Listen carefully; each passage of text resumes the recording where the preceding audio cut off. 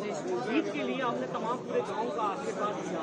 एक एक जज देखा हमने भी अपनी आँखों से देखा आप किस तरह से इस प्यार को देख रही हैं चुनाव में क्या देख रही है बीजेपी के लिए और अपने लिए देखिए मेरे लिए बहुत खुशी की बात है कि मैं एक, एक फ़ील्ड में आई हूँ और वहाँ पे मैंने पहली बार एक कदम रखा है।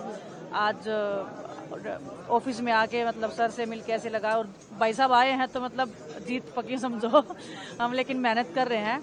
और हमने रेसलिंग करते हुए सीखा है कि दुश्मन को कभी कमज़ोर नहीं आंकना चाहिए। तो हम अपनी जीत और मेहनत कर रहे हैं और सतपाल जी का आशीर्वाद रहेगा। इन्होंने भी, अभी छह महीने भी नहीं हुए, उन्होंने लोकसभा के लिए जो विजय जो जीत यहाँ से जीन जुलाना से मिली थी, मैं चाहती हूँ कि उससे भी ज़्यादा हम प्यार और आशीर्वाद लोगों का मिले और भाई साहब जो बोल रहे हैं कि भूपेंद्र सिंह हुडा जी सरकार में आए हम, और हर एक वर्ग का भला हो उसके लिए हम मेहनत कर रहे हैं और मैं चाहती हूँ कि जुलाना के लोगों ने जो प्यार और विश्वास दिखाया है उनके उनके प्यार के ऊपर सम्मान के ऊपर मैं हमेशा खड़ी उतरूँगा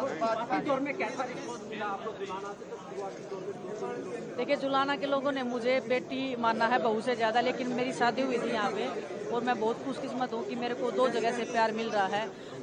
जहाँ पैदा हुई थी वहाँ से तो मिला ही है। अभी जहाँ पे नई जगह पे मैं आई हूँ तो मेरे को उससे भी ज़्यादा प्यार मिल रहा है। तो मैं एक बहुत भाग्यशाली लड़की हूँ।